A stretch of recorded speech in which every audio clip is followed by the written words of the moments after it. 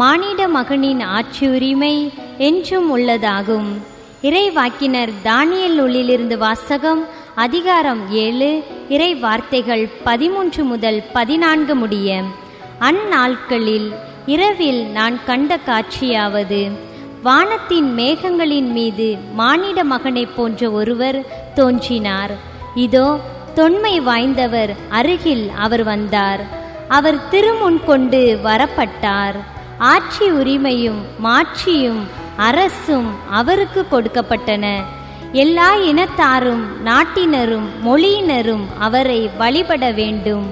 அவரது ஆட்சி உரிமை என்றும் உள்ளதாகும். அதற்கு முடிவே இராது. அவரது அரசு அழிந்து போகாது. ஆண்டவரின் அருள் வாக்கு இறைவனுக்கு நன்றி.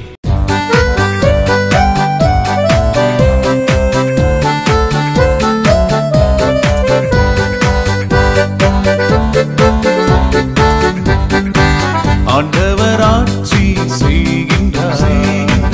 ஆட்சியை ஆடையாய் அணிந்துள்ளார். ஆண்டவர் ஆட்சி செய்கின்றார். மாட்சியை ஆடையாய் அணிந்துள்ளார். மாட்சியை ஆடையாய் அணிந்துள்ளார்.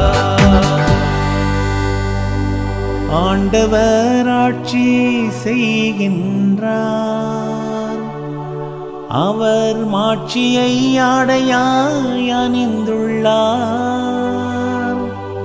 ஆண்டவர் வல்லமையை கச்சையாக கொண்டுள்ளார்.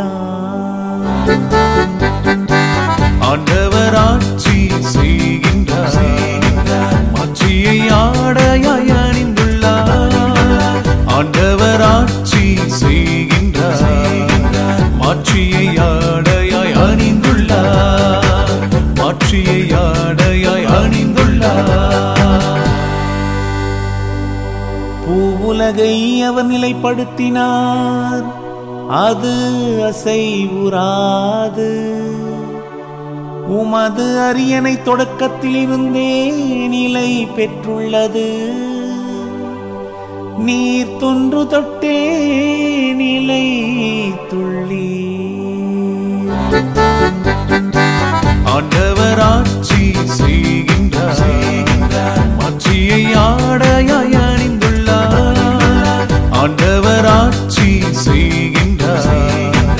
மாற்றியை ஆடையாய் அணிந்துள்ளார். மாற்றியை ஆடையாய் அணிந்துள்ளார். உம்முடைய ஒழுங்குமுறைகள் மிகவும் உறுதியானவை. ஆண்டவரே என்றென்றும் தூய்மையே உமது இல்லத்தை அழகு செய்யும்.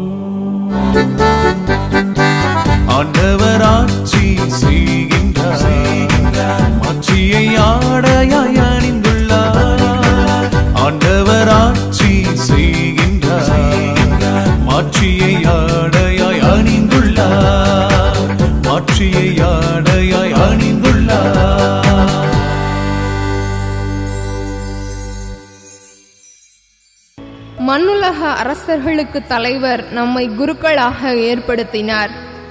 திருத்தூதர் யோவான் எழுதிய திருவெளிப்பாட்டிலிருந்து வாசகம் அதிகாரம் ஒன்று இறை வார்த்தைகள் ஐந்து முதல் எட்டு முடிய.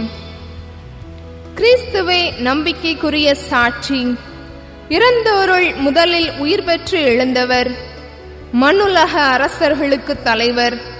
இவர் நம்மீது அன்பு கூர்ந்தார்.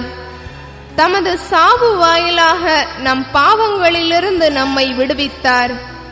ஆட்சி உரிமை பெற்றவர்களாக அதாவது நம் கடவுளும் தந்தையுமானவருக்கு ஊழியம் புரியும் குருக்களாக நம்மை ஏற்படுத்தினார். இவருக்கே மாட்சியும் ஆற்றலும் என்றென்றும் உரியன. ஆமேன். இதோ அவர் மேகங்கள் சூழ வருகின்றார். அனைவரும் அவரை காண்பர். அவரை ஊடுருவ குத்தியோரும் காண்பர். அவர் பொருட்டு மண்ணுலகின் குலத்தார் அனைவரும் மாரடித்து புலம்புவர். இது உண்மை. ஆமேன். அகரமும் நகரமும் நானே என்கிறார் கடவுளாகிய ஆண்டவர்.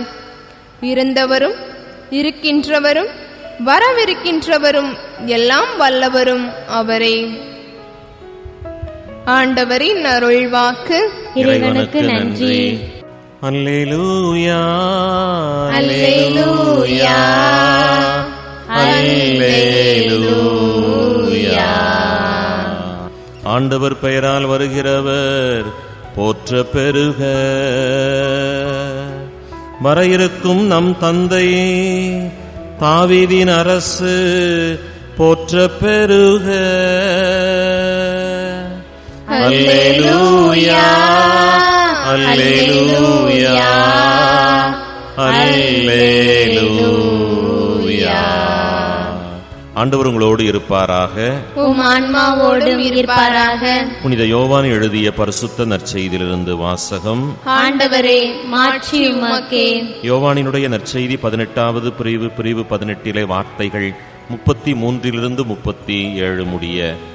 அக்காலத்தில் பிலாத்து மீண்டும் ஆளுநர் மாளிகைக்குள் சென்று இயேசுவை கூப்பிட்டு அவரிடம் நீ யூதரின் அரசனா?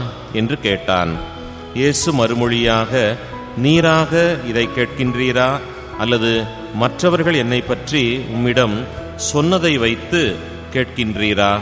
என்று கேட்டார். அதற்கு பிலாத்து நான் ஒரு யூதனா? என்ன? உன் இனத்தவரும் தலைமை குருக்களும் தானே உன்னை என்னிடம் ஒப்புவித்தார்கள். நீ என்ன செய்தாய்? என்று கேட்டான். இயேசு மறுமொழியாக எனது ஆட்சி இந்த உலக ஆட்சி போன்றது அல்ல. இந்த உலக ஆட்சி போன்றதாய் இருந்திருந்தால் நான் யூதர்களிடம் காட்டிக் கொடுக்கப்படாதவாறு என்னுடைய காவலர்கள் போராடி இருப்பார்கள். ஆனால் என்னுடைய ஆட்சி இந்த உலக ஆட்சி போன்றது அல்ல என்றார். பிலாத்து அவரிடம் அப்படியானால் நீ அரசன்தானோ என்று கேட்டான். அதற்கு இயேசு அரசன் என்று நீர் சொல்லுகின்றீர். உண்மையை எடுத்துரைப்பதே என்னுடைய பணி. இதற்காகவே நான் பிறந்தேன். இதற்காகவே உலகிற்கு வந்தேன். உண்மையை சார்ந்தவர் அனைவருமே என் குரலுக்கு செவிசாய்க்கின்றனர் என்றார். கிறிஸ்துவின் நற்செய்தி. கிறிஸ்துவே உமக்கு புகழ்.